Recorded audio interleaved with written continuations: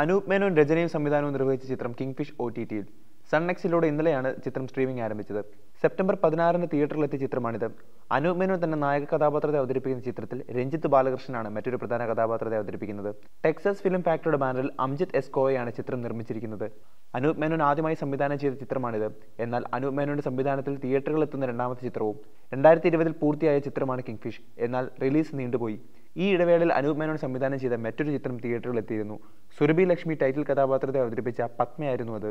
നന്ദു നിരഞ്ജന അനൂപ് ദിവ്യപിള്ള ദുർഗകൃഷ്ണ ഇർഷാദ് അലി തുടങ്ങിയവരാണ് മറ്റ് കഥാപാത്രങ്ങൾ അവതരിപ്പിക്കുന്നത്. ഛായാഗ്രഹണം മഹാദേവൻ തമ്പി എഡിറ്റിംഗ് സിയാൻ ശ്രീകാന്ത് സംഗീതം രതീഷ് വേഗ. അതേസമയം അനൂപ് മേനോന്റെ ഏറ്റവും പുതിയ തിയേറ്റർ റിലീസ് ഈ വാരം എത്തിയ വരാലാണ്.